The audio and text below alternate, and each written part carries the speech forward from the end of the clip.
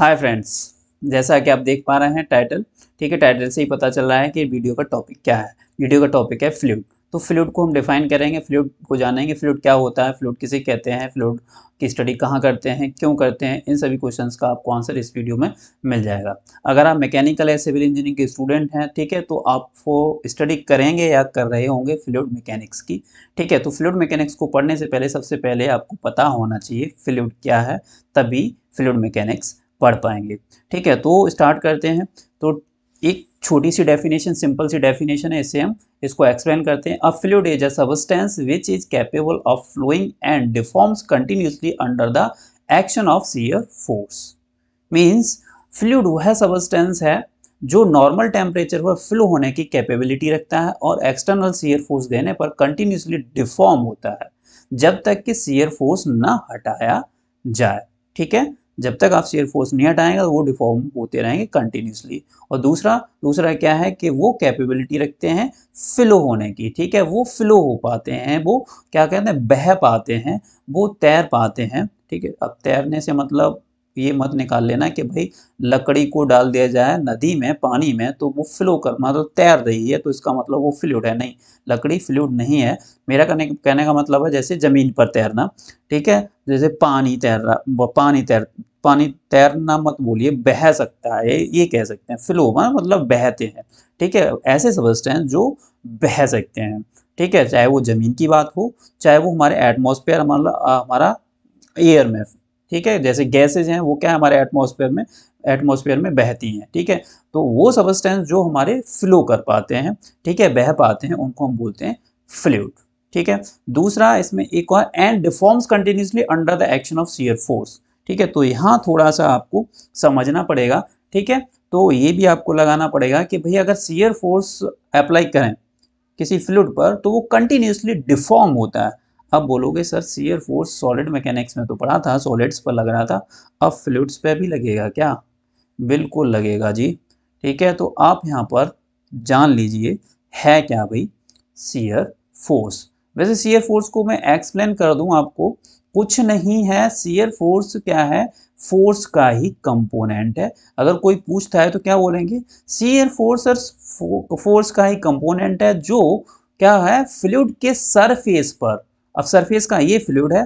तो ये फ्लूड का सरफेस कहाँ होगा? ये ऊपर। ठीक है? ये क्या है यहाँ पर? ये तो हमारा ग्राउंड है मतलब जिसमें भरा हुआ होगा। ठीक है? नीचे का। ठीक। इसमें ये, मान लीजिए ये, या मान लीजिए कोई यहाँ पर फ्लो हो रहा है पानी का, ठीक है, फ्लो हो रहा है, फ्लो मत मानिए भी रेस्ट में मानिए, ठीक है, तभी समझ पाएँगे, ये क्या है रेस्ट में है, ठीक, ये रेस्ट में है, पानी ही मान लीजिए या कोई और फ्लूड मान लीजिए रेस्ट में है और यहाँ पर ये फिल किया गया है, और ये है इसका सरफेस तो मैं क्या बोला सीयर फोर्स क्या है सीयर फोर्स एक फोर्स का ही कंपोनेंट है सीयर फोर्स क्या है फोर्स का ही कंपोनेंट है, जो फ्लूड के सरफेस पर टेंजेंशियली लगता है क्या बोलेंगे? टेंजेंसली लगता है। अभी टेंजेंसली कैसे लगेगा भाई? देखिए, ये सरफेस है। ये हमारा सरफेस और सरफेस पर हमारा अगर परपेंडिकुलर फोर्स लगा दें, ये तो इसको बोलते हैं नॉर्मल फोर्स क्या बोलते हैं? नॉर्मल फोर्स और ये जो सरफेस है, इस पर टेंजेंसली मतलब टेंजेंसली मतलब अब ऐसे देखो, ऐसे लगाएँगे तो कुछ आपको कम क्लियर होगा। मैं क्या करता हूँ, एक इस पर उस फ्लूड के ऊपर एक मैं प्लेट डाल देता हूँ, ठीक है? ये मैंने एक प्लेट डाल दिया, ठीक? ऐसे करके ये प्लेट है। अब मैं इस पर एक फोर्स लगाऊँ, ठीक है? ऐसे करके। तो ये क्या है? टेंजेंसली फोर्स हो जाए किसके लिए? ये जो पानी है, पानी की सरफेस के लिए क्या है? टेंजेंसली फोर्स हो जाएगा। ठीक है? क्लियर है भाई? तो ये है टेंजेंसली फोर्स क्लियर तो कोई पूछता है तो आप क्या बताएँगे? फ्लूड के सरफेस पर जो टेंजेंसली फोर्स लगता है, उसको बोलते हैं हम सीयर फोर्स अब देखिए, होता है क्या है? ये फ्लूड है और फ्लूड यहाँ पर ये रेस्ट कंडीशन में है। किसमें? रेस्ट में है और रेस्ट में है तो इसको मान लीजिए ओ पॉइंट और इस पॉइंट को मान लीजिए ए पॉइंट इस वाले को।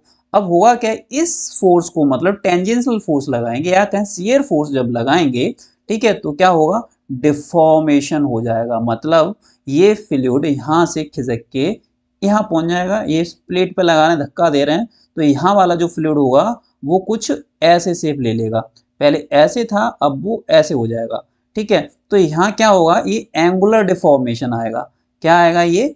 एंगुलर डिफॉर्मेशन यानी थीटा एंगल पर ये डिफॉर्म हो जाएगा। ठीक है? तो अब ये सीयर फोर्स जब भी कोई फोर्स लगता है तो डिफॉर्मेशन होता है तो डिफॉर्मेशन होगा, उसको बोलते हैं स्ट्रेन ठीक है? और जिस फोर्स की वजह से लगता है, उसी का ही नाम दे देते हैं। ठीक है? तो यहाँ पर कौन सा फोर्स लगता है? लग रहा है सीयर फोर्स लग रहा है। जब सीयर फोर्स लगता है तो कौन सी स्ट्रेंथ सीयर स्ट्रेंथ यहाँ पर डेवलप होगी। क्लियर है? तो इसमें बहुत ज़्यादा डिटेल में आगे जाएँगे। मेरा यहाँ पर सिर्फ़ इतना ही समझाने का मतलब था कि सीयर फोर्स क्या है। तो आप समझ लें सीयर फोर्स क्या है। क्लियर है? अच्छा ठीक है। और फ्लूड को थोड़ा सा और एक्सप्लेन कर लेते हैं। फ्लूड्स को क्या करते हैं? देखिए, ऐसे भी जान लेते हैं कि कोई वेसल है, कोई क्या है कंटेनर है। इसमें हम क्या करें? डाल दें किसी फ्लूड को तो वो उस कंटेनर या उस वेसल की ही सेफ़ ले लेता है। ये भी एक प्रॉपर्टी है फ्लूड की। अब बोलोगे सर वाटर के केस में तो चलो ठीक है, अगर हम इसमें गैस भरें गैस भरें कोई, तब क्या होगा? तब तो वो इसकी सेफ़ नहीं लेगा, वो तो बाहर निकल जाएगा भाई।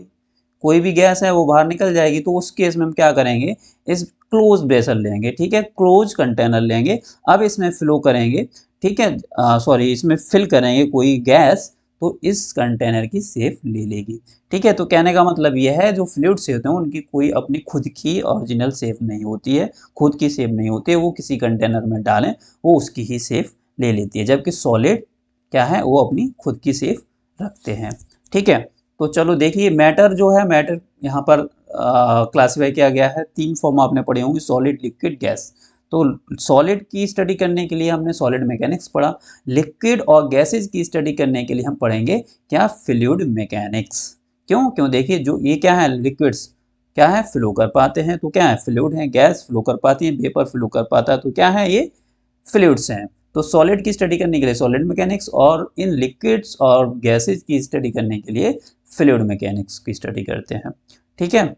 इनके बिहेवियर के जानने के लिए, इनके लिक्विड और गैसेज वेपर्स के बिहेवियर के जानने के लिए, का बिहेवियर जानने के लिए क्या करेंगे हम? स्टडी करेंगे फ्लूड मैकेनिक्स की। ठीक है? तो मैटर को हम ऐसे भी हम क्लासीफाई कर सकते हैं कि भाई जो सबस्टेंस बह पाते हैं, वो है फ्लूड ठीक है? वो वो मैटर वो मैटर की फॉर्म जो बह पाती है, वो क्या है? फ्लूड और जो नहीं बह पाते, वो होते हैं सॉलिड तो आई होप ये समझ आया होगा आपको टॉपिक बहुत अच्छे से, आपको एक्सप्लेन किया है। ठीक है, अगर आपके पास इसके रिगार्डिंग फ्लूड के रिगार्डिंग कोई क्वेश्चन है, ठीक है तो कमेंट बॉक्स में ज़रूर टाइप कीजिए। ठीक है, मैं आपको आंसर दे दूँगा। Thank you